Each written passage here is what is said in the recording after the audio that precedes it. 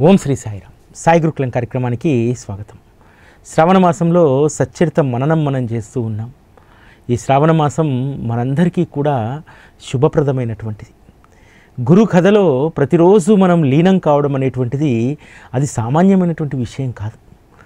గురువు యొక్క అనుగ్రహము బాబా యొక్క కృప ఉంటే తప్ప మనము ఈ శ్రావణ మాసంలో గురు కథా శ్రవణం పట్ల అంత శ్రద్ధను పెట్టాం. నిజంగా ఎవరైతే ఈ శ్రావణ మాసంలో గురు కథను శ్రవణం చేస్తున్నారో దాన్ని మననం చేసుకుంటున్నామో మనందరం కూడా అదృష్టవంతులం. ఇంతకుముందు నేను చెప్పినట్టు అనేక యజ్ఞ యాగాదులు చేసినటువంటి దానికంటే కూడా కొన్ని లక్షల పుష్పాలతో పత్రాలతో పూజించిన దానికంటే కూడా శ్రవణం అనేటువంటిది అందుకు వెయ్యి రెట్ల మనకు ఫలితాన్ని ఇస్తుంది. గురు కథాశ్రవణంలో ఉన్నటువంటి తన్మయత్వం అందులో ఉన్నటువంటి ఆనందం ఇతరత్ర మనము దేంట్లో కూడా మనం పొందలేం. హేమాట్ పంతు ప్రతి అధ్యాయంలో కూడా చెప్తారు. గురువు యొక్క కృప అపారమైనటువంటిది. ఆ కృపను అందుకున్నటువంటి వారు అదృష్టవంతులు. వారి యొక్క పూర్వజన్మ సుకృతం వల్ల గురు కథా శ్రవణం అనేటువంటి దాన్ని చేయగలుగుతున్నారు. లేకపోతే అసలు గురు కథా శ్రవణం మన చెవున పడడం అనేటువంటిది దుర్లభమైనటువంటి విషయం అని చెప్తారు. ఎందుకంటే గురువు ఎంత గొప్పవాడంటే ఈ లోకంలో గురువు చేసేటువంటి మేలు మరెవ్వరూ కూడా చేయరు. తండ్రి శరీరాన్ని మాత్రమే జనింపజేస్తారు. కానీ సద్గురువు జనన మరణ చక్రాన్ని తప్పించి వేస్తాడు. ఇక నీకు జననం అనేటువంటిది ఉండదు. రమణ మహర్షి చాలా అద్భుతమైనటువంటి మాట చెప్తారు. నన్ను ఆశ్రయించిన వారు నేను ఆశ్రయించిన వారు. ఇద్దరికీ ఇక జన్మంటూ ఉండదు అని అంటారు. అది అక్షర సత్యం. ఎవరమైతే మనము సద్గురువును ఆశ్రయిస్తామో ఆయన చరణాలయందే లీనమై ఉంటాము ఆయన కథాశ్రవణమే మనం ప్రాణంగా భావిస్తాము ఆ కథల్లో ఉన్నటువంటి తన్మయత్వాన్నే మన ఊపిరిగా మనం భావిస్తాము అటువంటి వారికి ఖచ్చితంగా జన్మరాహిత్యం లభిస్తుంది. మనం సచ్చరితలో అనేక మంది భక్తుల గురించి చదువుకుంటాం. మహల్సాపతి కాకాసాహెబ్ దీక్షిత్ పురందరే తాత్యాసాహెబ్ నూల్కర్ లాంటి వారు బాబా యొక్క చరణ ధూళిలో పొరలాడారు. బాబా యొక్క సాంగత్యాన్ని ఆనందంగా ఆస్వాదించారు. అందుకనే వారికి ఇక జన్మ లేదు. అటువంటి గొప్ప వరాన్ని మనం సద్గురువు వద్ద పొందాలి. మనందరము కూడా సద్గురువు వద్ద అనవసరమైనటువంటి వాటి కోసమే ఎక్కువగా పాకులాడుతూ ఉంటాం. కానీ ఆయన ఇచ్చేటువంటి అసలైనటువంటిది జన్మరాహిత్యం. ఈ ఇరవై ఎనిమిదో అధ్యాయంలో అద్భుతమైనటువంటి కథలు ఉంటాయి ఆ కథల్లో మేఘుడి కథ మనస్సును ఉప్పొంగింపజేస్తుంది శరీరాన్ని రోమాంచితం చేస్తుంది. ఎందుకంటే మేఘుడు పేరు చెప్పగానే నా తనువు పులకరించిపోతూ ఉంటుంది. ఎందుకంటే మేఘుడి పట్ల బాబా చూపినటువంటి ప్రేమ అంత అద్వితీయమైనటువంటిది. బాబా చెప్తారు కదా నా భక్తుణ్ణి కాలికి దారం కట్టి పిచ్చుకను లాగినట్టు లాగుతానని చెప్పి. అటువంటి అనేక మందిని తన వద్దకు రప్పించుకొని ఏదో ఒక మిషతో వారికి ఆ సంకల్పాన్ని కల్పించి వారి జీవితాలను ఎంత ధన్యం చేస్తారంటే ఒకరికి స్వప్నంలో కనిపిస్తారు ఒకరికి అనుభవం ద్వారా తెలియజేస్తారు. బాబా స్వప్న దర్శనం ద్వారా అనేక మంది భక్తులను తన వద్దకు రప్పించుకొని వారి జీవితాలను తరింపజేశారు. అటువంటి భక్తుల్లో లాలా లక్ష్మీచంద్ ఒకరు. లాలా లక్ష్మీచంద్ మొదట రైల్వేలో పనిచేసేటువంటి వారు. ఆ తర్వాత ర్యాలీ సోదరులని గ్రీక్ సంస్థ ఒకటి ముంబైలో ఒక శాఖ పెడుతుంది. అందులో ఉద్యోగిగా చేరుతారు. లాలా లక్ష్మీచంద్ తన ఉద్యోగ నిర్వహణలో చాలా నిజాయితీగా నిబద్ధతతో పనిచేసేవారు. లాలా లక్ష్మీచంద్ పట్ల కూడా యాజమాన్యం అదే సానుకూలమైనటువంటి దృక్పథంతో ఉండేది. బాబా ఎంపిక చేసుకున్నటువంటి భక్తులు నానాసాహెబ్ కానీ కాకాసాహెబ్ దీక్షిత్ కానీ అదేవిధంగా కాకా మహజని కానీ తాత్యాసాహెబ్ నూల్కర్ కానీ లాలా లక్ష్మీచంద్ కానీ హేమాడ్ పంత్ కానీ వారి యొక్క స్వభావాన్ని చూస్తే వారు ఎంత గొప్ప స్వభావాన్ని కలిగినటువంటి వారంటే వారు చేసేటువంటి పని పట్ల నిబద్ధత కలిగి ఉండేటువంటి వారు. అదేవిధంగా ధర్మంగా జీవించేటువంటి వారు. ఇటువంటి వారిని బాబా ఏరి కోరి తన వద్దకు పీపించుకుంటారు అందులో వీళ్ళ లాలా లక్ష్మీచంద్ కూడా ఒకరు. లాలా లక్ష్మీచందు శాంతాక్రూజ్లో నివాసం ఉంటుండగా ఒకరోజు బాగా వయస్సు పైబడినటువంటి ఒక సాధువు గడ్డంతో ఉండి మాసిన బట్టలతో ఉన్నటువంటి ఒక సాధువు స్వప్న దర్శనం ఇస్తారు వారు ఎవరు అని చెప్పి చాలా రోజులు ఆలోచిస్తాడు. ఒకరోజు తన మిత్రుడైనటువంటి దత్తాత్రేయ మంజునాథ్ గృహంలో దాస్గన్ మహారాజ్ గారి యొక్క కీర్తన జరుగుతుంది. ఆ కీర్తనలో తుకారాం భక్తి గురించి చెప్తూ ఉంటాడు. చెప్తూ చెప్తూ మధ్యలో బాబాగారి యొక్క లీల గురించి చెప్తూ ఉంటారు. అప్పుడు లాలా లక్ష్మీచంద్ దృష్టి ఆ బాబా చిత్రపటం వైపు వెళ్తుంది. బాబా చిత్రపటం చూడగానే మనసు పులకరించిపోతుంది. అసలు కంటి వెంట నీరు జలపాతంలా ప్రవహిస్తుంది. ఎందుకంటే తన స్వప్నంలో చూసినటువంటి సాధువు ఇక్కడ ఫోటో రూపంలో ఉన్నటువంటి ఈయన ఒక్కరే ఇంత గొప్ప పరమాత్మ నాకు స్వప్న దర్శనం ఇచ్చాడు నిజంగా నా జీవితం ధన్యం అని చెప్పి దాసర్ మహారాజ్ చెప్పేటువంటి ఆ లీలలు వింటున్నంతసేపు ఎప్పుడెప్పుడు షిరిడీకి వెళ్దామా? ఆ మహాత్ముడి యొక్క దర్శనం ఎప్పుడు కలుగుతుందా అని చెప్పి మనస్సు పరితపించిపోతూ ఉంటుంది. ఆ కీర్తన విని వచ్చి ఇంట్లో కూర్చొని ఆలోచిస్తూ ఉంటాడు. నాకు ఎప్పుడు ఆ పరమాత్మ యొక్క దర్శనం లభిస్తుంది? అసలు నాకు ఆ అవకాశం ఉంటుందా లేదా? అని చెప్పి బాబా యొక్క లీలలను దాస్కర్ మహారాజ్ కీర్తనలో చెప్పినటువంటి వాటన్నింటినీ కూడా స్మరించుకుంటూ ఆనంద బాష్పాలతో పారవశ్యానికి లోనవుతాడు. భగవంతుడు ఎప్పుడూ కూడా భక్తి అనేటువంటి ఆకలిని కని ఉంటాడు. మరి బాబా ఊరుకుంటాడా? బాబా అందుకు కావలసినటువంటి అద్భుతమైనటువంటి ప్రణాళికను రూపొందిస్తాడు. తన స్నేహితుడు ఒకరు వచ్చి తలుపు తడతారు. తలుపు తట్టి నేను ఖేడ్గాంలో ఉన్నటువంటి నారాయణ మహారాజ్ దర్శనానికి వెళ్తున్నాను. కానీ అంతకంటే ముందు నేను షిరిడీలో బాబాను దర్శించుకొని కేట్గావుకు వెళ్ళాలని అనుకుంటున్నాను. నువ్వేమైనా షిరిడీకి రాగలుగుతావా అని అడుగుతారు. అసలు ఆశ్చర్యం వేస్తుంది. బాబా యొక్క లీలను వినగానే మనస్సులో తలవగానే వెంటనే బాబా నుంచి పిలుపు వచ్చినట్టే తన మిత్రుడు వచ్చి తలుపు తట్టాడు. ఇక లాలా లక్ష్మీచంద్ ఆనందానికి ఆతృతకు హద్దులు లేకుండా పోయి వెంటనే వెళ్ళి మారోడి దగ్గరికి వెళ్ళి పదిహేను రూపాయలు అప్పుగా తీ- తీసుకొని తన మిత్రుడు కూడా అదే మారోడి దగ్గర మరో పదిహేను రూపాయలు అప్పుగా తీసుకొని ఇద్దరూ కూడా షిరిడీకి ప్రయాణం అవుతారు షిరిడీకి వెళ్ళాల్సినటువంటి రైలు ఎక్కి కూర్చుంటారు. కూర్చొని షిరిడీ నుంచి తిరిగి వచ్చినటువంటి వాళ్ళు రెండోసారి షిరిడీకి వెళ్తున్నటువంటి వాళ్ళు అటువంటి వాళ్ళ వద్దకు వెళ్ళి లాలా లక్ష్మీచంద్ అడుగుతూ ఉంటారు బాబా యొక్క లీలలను మీరు ప్రత్యక్షంగా చూశారా? బాబా యొక్క మహత్తు ఎలా ఉంటుంది? ఇప్పుడు నేను వెళ్తున్నాను వెళ్తే బాబా ఏ విధంగా వారు ఆశీర్వదిస్తారు. ఏ విధంగా భక్తులతో వారు సంభాషిస్తారు. ఇటువంటి విషయాలను అడుగుతూ ఉన్నాడు చాలామంది చెప్తూ ఉన్నారు. అహ్మద్నగర్ దగ్గర ఉన్నటువంటి షిరిడీలో బాబా ఉంటాడు. బాబా యొక్క లీలను చెప్తూ ఉంటారు. చివరగా ఇక కోపర్గావ్ చేరదామనగా ఒక ముగ్గురు ముసలమ్మలు అక్కడ కూర్చొని ఉంటారు. మళ్ళీ వారిని వెళ్ళి అడుగుతాడు. అమ్మా మీరు బాబాని ఎప్పుడైనా దర్శించుకున్నారా? బాబా యొక్క మహత్తుని మీరు ఎప్పుడైనా చూశారంటే వాళ్ళు అద్భుతంగా బాబా యొక్క మహత్తు గురించి చెప్తారు. ఆ ముగ్గురు స్త్రీలు చెప్పినటువంటి దాంట్లో ఒక విషయాన్ని గ్రహిస్తాడు. బాబాకు జామ మా జామ పనులు అంటే చాలా ఇష్టము. వాటిని ప్రసాదంగా తీసుకెళ్తే వారు సంతుష్టులు అవుతారు అని అంటారు. తను కూడా సంకల్పం చేసుకుంటాడు. కోపర్గావ్లో దిగగానే జాంపళ్ళు తీసుకొని బాబాకు నివేదన చేయాలని చెప్పి. కానీ రైలు దిగిన వెంటనే లాలా లక్ష్మీచందు అక్కడ ఉన్నటువంటి ప్రకృతి రమణీయతను చూసి మై మైమర్చిపోతాడు. టాంగా బయలుదేరుతుంది. మధ్యలోకి వెళ్ళిన తర్వాత గుర్తొస్తుంది. అరే బాబాకు నేను జామపళ్ళు ఇద్దామనుకున్నానే.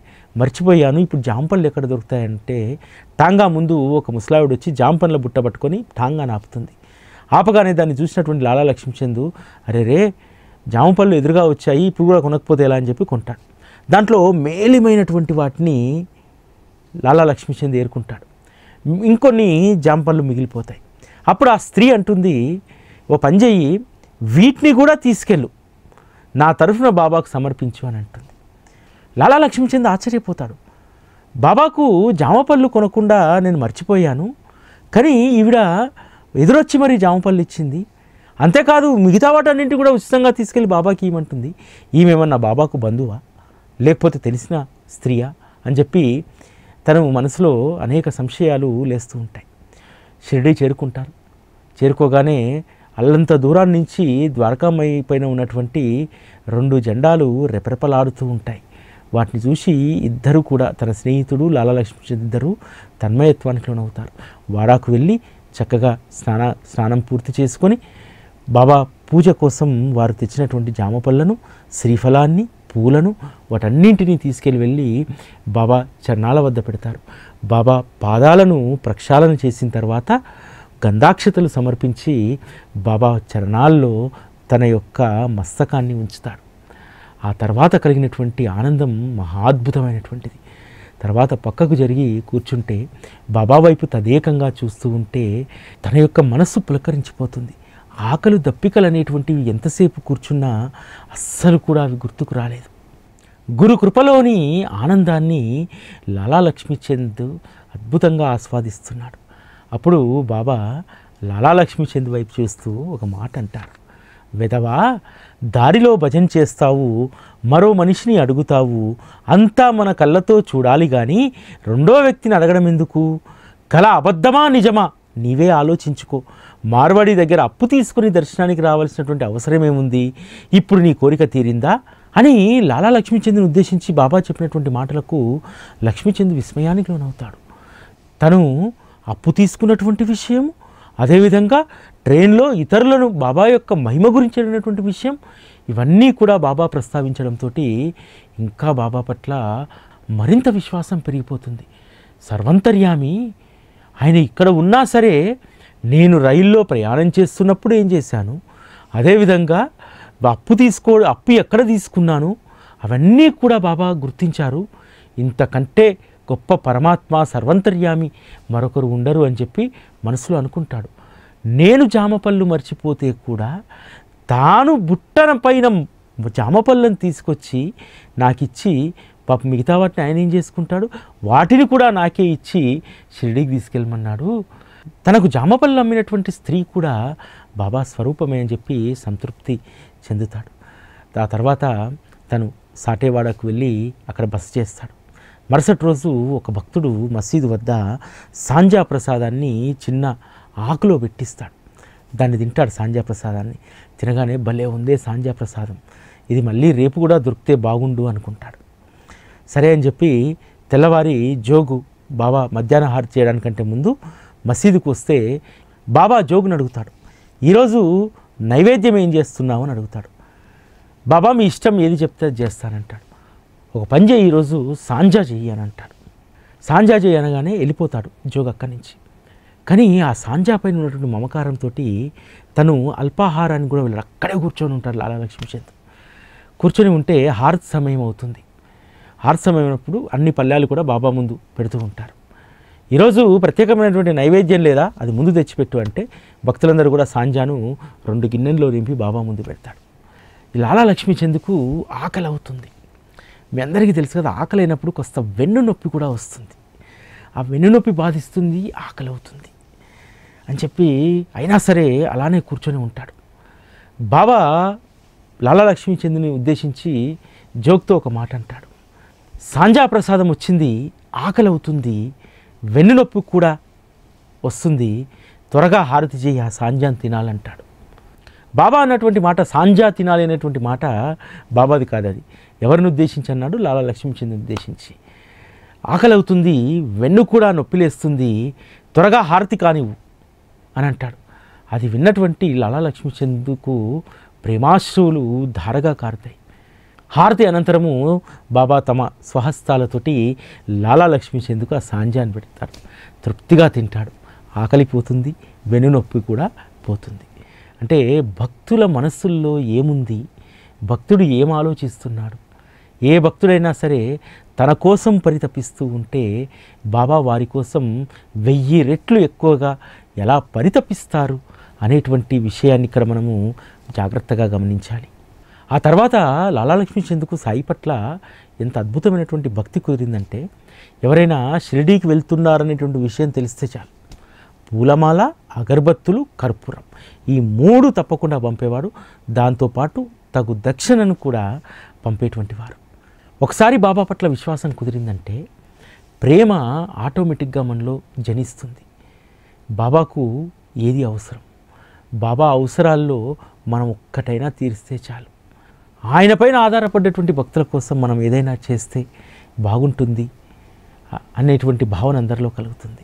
లాలా లక్ష్మీచందుకు కూడా ఎంత ప్రేమ బాబా పట్ల కలిగిందంటే ఒకరోజు చావుడి ఉత్సవం జరుగుతూ ఉంటుంది. చావుడి ఉత్సవానికి లేచినటువంటి బాబా బాగా దగ్గుతూ ఉంటాడు.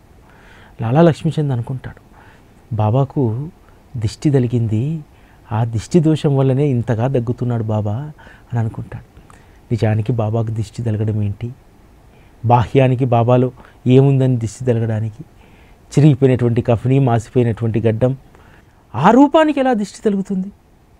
కానీ లాలా లక్ష్మీచంద్ మనసులో ఆ రూపం లేదు. సాక్షాత్తు పరబ్రహ్మ స్వరూపాన్ని కొలువు చేసుకున్నాడు. బాబా యొక్క సౌందర్యాన్ని తన ఆత్మ ఆస్వాదిస్తుంది. అందుకని బాబా యొక్క సౌందర్యాన్ని ఆత్మానందంతో వారు ఆస్వాదిస్తున్నారు కాబట్టి బాబా ఆనంద సుందరుడిగా వారికి దర్శనమిస్తారు. అందుకనే బాబాకు దిష్టి తగిలింది అనేటువంటి భావన కలిగింది. బాహ్యానికి బాబా రూపానికి దిష్టి కాదు. బాబాలో ఉన్నటువంటి అద్భుతమైనటువంటి ఆనంద సౌందర్యానికి దిష్టి కలిగింది అని చెప్పి లాలా లక్ష్మీచంద్ భావిస్తాడు.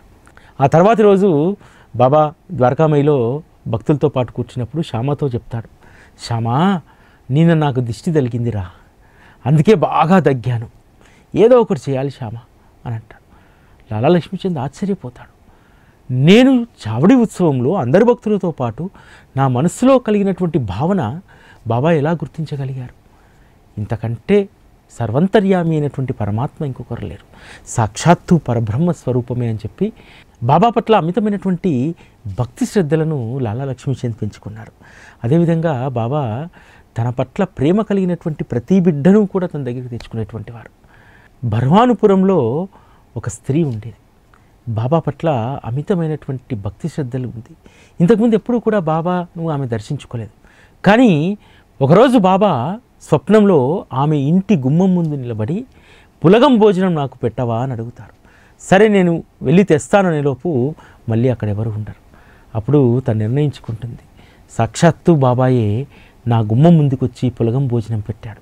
ఎలాగైనా సరే బాబాకు ఆ పులగాన్ని నేను సమర్పించాలని చెప్పి తను భావిస్తుంది.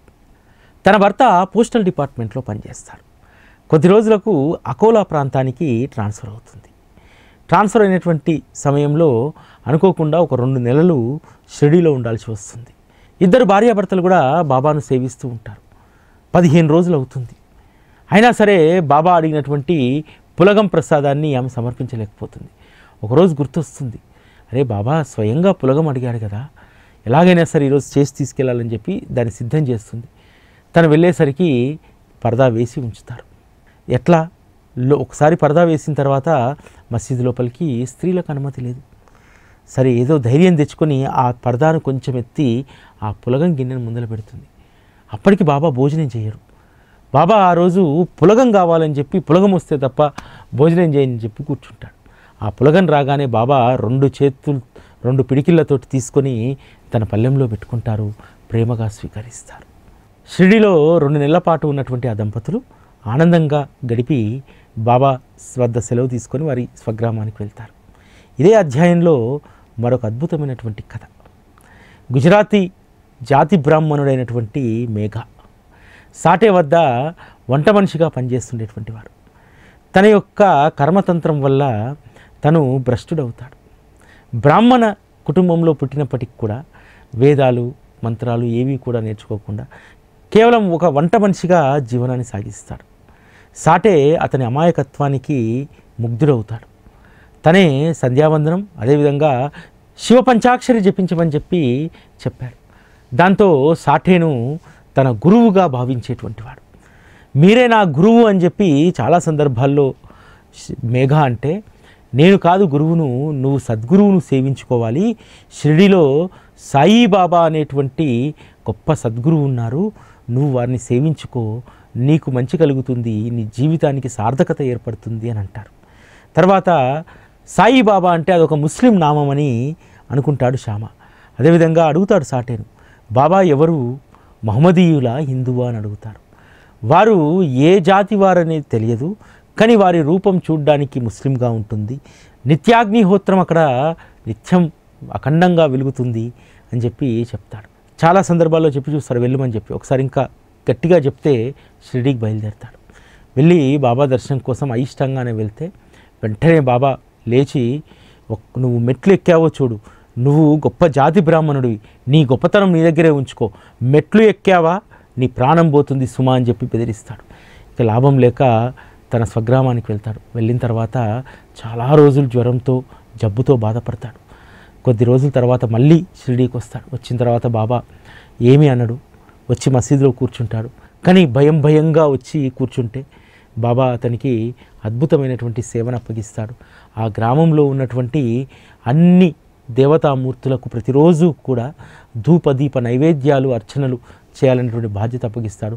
మేగుడు కూడా ఎంతో ప్రేమతోటి ఎంతో భక్తి శ్రద్ధలతో దాన్ని చేస్తారు తాత్యా సాహెబ్ నూల్కర్ మరణించిన తర్వాత బాబాకు హారతి ఇచ్చేటువంటి గొప్ప అవకాశం మేగుడికి లభిస్తుంది. మేగుడు ఒంటి కాలిపైన బాబాకు హారతి ఇచ్చేవారు. తనకెంతో ఇష్టమైనటువంటి ఎందుకంటే తనకు శంకరా శంకర అనేటువంటి నామజపం తప్ప మరొకటి తెలియదు. ఆ తర్వాత బాబాయే తన శంకరుడని సాయీశ్వరుడని బాబాను శంకరుడిగా పూజించుకునేటువంటి వారు షిరిడిలో బిల్వపత్రాలు దొరికేటువంటివి కాదు. దాదాపు ఒక మైలు దూరం నడిచి బిల్వపత్రాలను తీసుకొచ్చి తన పూజా సామాగ్రిలో పెట్టుకొని అన్ని దేవత ఆలయాల్లో పూజ చేసిన తర్వాత బాబాకు కూడా ఆ బిల్వపత్రాలు సమర్పించేటువంటి వాడు. అంత ఇష్టంగా పూజార్చనలు బాబాకు చేసేటువంటి వాడు మేఘుడు. ఒకరోజు గ్రామదేవత ఆలయంలో దీపం పెట్టకుండా నైవేద్యం సమర్పించకుండా బాబా హారతి ఇవ్వడానికి వస్తే వెంటనే బాబా ఎందుకు ఆ మందిరంలో నువ్వు దీపధూప నైవేద్యాలు పెట్టకుండా ఇక్కడికి వచ్చావు అని అంటే ఆ మందిరం మూసి ఉంది తాళం లేదు అని అంటాడు. వెళ్ళి ఇప్పుడు తెరుచుకొని ఉంటుంది అంటే వెళ్ళేసరికి బాబా చెప్పినట్టుగానే ఆ మందిరం తెరుచుకొని ఉంటుంది. అక్కడ ధూపదీప నైవేద్యాలు పెట్టిన తర్వాత అప్పుడు బాబా తమ హారతికి అనుమతిస్తారు మేగుడికి. మేగుడి యొక్క దినచర్య చాలా అద్భుతంగా ఉండేది. ప్రతిరోజు కూడా తను అన్ని దేవత ఆలయాల్లో షిరిడిలో ఉన్నటువంటి ఈ గ శని గణపతి మహదేవ్ ఆలయాల్లో ఖండోబా ఆలయంతో సహా అన్ని ఆలయాల్లో పూజలు చేసేటువంటి వారు ఆ తర్వాత బాబా దగ్గరికి వచ్చేటువంటి వారు. ఒకసారి ఒక సంకల్పం కలుగుతుంది. మకర సంక్రాంతి రోజు బాబాకు గంగాజలంతో అభిషేకం చేయాలని చెప్పి. ఆ రోజు ఉదయాన్నే గోదావరి వద్దకు వెళ్ళి ఆ గంగాజలాన్ని తీసుకొచ్చి ఒక రాగి గంగాలం పెట్టి అందులో పోస్తాడు. బాబా దగ్గరికి వెళ్ళి చెప్తాడు. బాబా ఈరోజు మీకు నేను అభిషేకించుకోవాలి. ఈరోజు మకర సంక్రాంతి అంటే అరే నేను ఒక పకీర్ను రా నాకెందుకు అభిషేకము? నన్ను వదిలేసే ఇట్లా అని అంటే లేదు లేదు నువ్వే నా శంకరుడివి నువ్వు ఖచ్చితంగా సిద్ధంగా ఉండు స్నానానికి అని చెప్పి వెళ్ళి అన్ని ఏర్పాట్లు చేసుకొని వస్తాడు. మొదట బాబా ఒప్పుకోడు కానీ మేగుడి యొక్క ప్రేమకు తలొగ్గక తప్పలేదు. వచ్చేసి అక్కడ కూర్చుంటారు కూర్చోగానే ఒక మాట చెప్తారు ఒరే మేఘ నన్ను వదలమంటే వదలట్లేవు. ఒక పని చేయి ఇక్కడ దాకా తీసుకొచ్చావు కదా శరీరానికి మొత్తం కూడా ముఖ్యం తల శిరస్సు. ఆ శిరస్సు ఒక్కటి తడుపురా నాలుగు నీటి బిందువులతోటి చాలు. నువ్వు శరీరానికి అభిషేకం చేసినట్టే అంటే సర్లే బాబా అట్లే చేద్దామని అంటాడు. కానీ తన యొక్క తన్మయత్వం హరహర శంకర హరహర గంగా అంటూ వచ్చి తెచ్చినటువంటి నీళ్ళన్నీ కూడా బాబా పైన పోస్తాడు తర్వాత కళ్ళు తెరిచి చూసేసరికి బాబా శిరస్సు ఒక్కటే తడిగా ఉంటుంది. శరీరం అంతా కూడా పొడిగా ఉంటుంది. అంటే శివుడి యొక్క రూపము లింగమే కదా. ఆ లింగం మాత్రమే నీటితో తడిచింది. కాబట్టి నా శివుడికి అద్భుతమైనటువంటి అభిషేకాన్ని ఈరోజు నేను చేసుకున్నాను. నా జీవితం ధన్యమైంది అని చెప్పి మేఘా సంతోషిస్తాడు. ఆ తర్వాత కూడా మరొక అద్భుతమైనటువంటి సంఘటన. అంటే మేగుడికి శివుడి పట్ల ఉన్నటువంటి భక్తిని స్థిరీకరించడానికి ఎంత అద్భుతమైనటువంటి లీల చేస్తారంటే మేగుడు తన బస్సులో ఉంచుకోవడానికి బాబా యొక్క చిన్న చిత్రపటాన్ని ఒకటి అందంగా తయారు చేయించుకొని పెట్టుకుంటాడు. రోజు అక్కడ కూడా పూజలు చేస్తూ ఉండేటువంటి వాడు. ఒకరోజు బాబా మేగుడి యొక్క బస్సుకు వెళ్ళి త్రిశూలాన్ని గియ్యు నీ శివుడు వస్తున్నాడు అని అంటాడు. మేగుడు అప్పుడు నిద్రిస్తూ ఉంటాడు. సరే అది స్వప్నం అని చెప్పి బాబా పూజ కోసం ద్వారకామైకి వెళ్తాడు. వెళ్ళినప్పుడు ఏం మేఘా ప్రారంభించావా త్రిశూలాన్ని గీయడం అంటారు. అప్పుడు సరే బాబా మీరు ఆ స్వప్నంలో ఆదేశించారు అది నిజమో కాదో నాకు అర్థం కాలేదు అని అంటే స్వప్నంలో ఆదేశించడం ఏమిటి? నేనే కదా స్వయంగా వచ్చాను. నేను వచ్చి నీకు ఆశీర్వదించినటువంటి గంధాక్షతలు నీ పక్కపైన లేవా? అని అడుగుతాడు. అప్పుడు గుర్తొస్తుంది తను నిద్ర లేవగానే పక్కన అక్షింతలు ఉంటాయి. మేగుడు అంటాడు బాబా తలుపులన్నీ వేసే ఉన్నాయి కదా ఎలా మీరు వచ్చారు అని అడుగుతారు. అప్పుడు బాబా చెప్పినటువంటి మాట నా ప్రవేశానికి ద్వారం అవసరం లేదు నాకు ఆకారమూ లేదు రూపమూ లేదు నేను ఎల్లప్పుడూ అంతటా ఉంటాను. నాపై భారం వేసి నన్ను నిరతం ధ్యానిస్తూ నాలో లీనమైనటువంటి వారి యొక్క శరీర వ్యాపారాలన్నీ కూడా నేనే వహిస్తాను. మీరేం కష్టపడాల్సిన అవసరం అవసరం లేదు. నాలో లీనమైనటువంటి వారి యొక్క శరీర వ్యాపారాలు అంటే శరీరం చేసేటువంటి పనులన్నీ కూడా నేనే నిర్వర్తిస్తానని చెప్పి బాబా చెప్పారు. ఈ విషయాన్ని అందరం కూడా బాగా గుర్తుపెట్టుకోవాలి. మనం అనవసరంగా చాలా వాటి కోసము పరితపిస్తుంటాం పరుగులు పెడుతూ ఉంటాం. అంత అవసరం లేదు. బాబాకు ఒక్కసారి మనం అనన్య శరణాగతి చేసిన తర్వాత మన శరీరం చేసేటువంటి ఆల్ బిజినెసెస్ అన్ని వ్యాపారాలు బాబాయే చేస్తారు. కాబట్టి బాబాకు మనం వదిలేసిన తర్వాత మన శరీరం నిర్వర్తించేటువంటి బాధ్యతలన్నీ కూడా ఆయనే నిర్వహిస్తారు. ఆ తర్వాత పూణే నుంచి ఒక భక్తుడు శివలింగాన్ని తీసుకొని వస్తాడు. ఆ శివలింగము బాబా కరస్పర్శ తగిలిన తర్వాత తన ఇంట్లో పెట్టుకొని పూజించుకోవాలనుకుంటాడు. ఆ భక్తుడు రాగానే మేఘాను పిలుస్తాడు. పిలిచి మేఘా ఇగో నీ శివుడు వచ్చాడు తీసుకెళ్ళు అని అంటాడు. బాబా స్వహస్తాల నుంచి ఆ శివలింగాన్ని పొందినటువంటి మేఘుడు ఆ శివలింగానికి అనేక ద్రవ్యాలతోటి ప్రతిరోజు నిత్యము అభిషేకాలు చేసేటువంటి వాడు ఆ విధంగా మేఘాకు శివుడి పట్ల ఉన్నటువంటి భక్తిని బాబా దృఢపరిచారు. తన భక్తులకు ఎవరికి ఏమి కావాలి? ఏది ఇస్తే తన భక్తుడికి ప్రయోజనం శ్రేయస్సు కలుగుతుందనేటువంటిది బాబా ఎప్పుడూ ఆలోచిస్తారు. ఈ ఇరవై ఎనిమిదో అధ్యాయంలో అద్భుతమైనటువంటి కథ. బాబాను ఆశ్రయించిన తర్వాత మన ప్రేమ ఏ విధంగా వారి పట్ల రెట్టింపు కావాలి? వారితో నిత్య సాంగత్యాన్ని మనం ఎట్లా ఏర్పాటు చేసుకోవాలి అనేటువంటి అనేక విషయాలు ఈ ఇరవై ఎనిమిదో అధ్యాయంలో మనం స్మరించుకున్నాం. ఓం శ్రీ సాయిరామ్.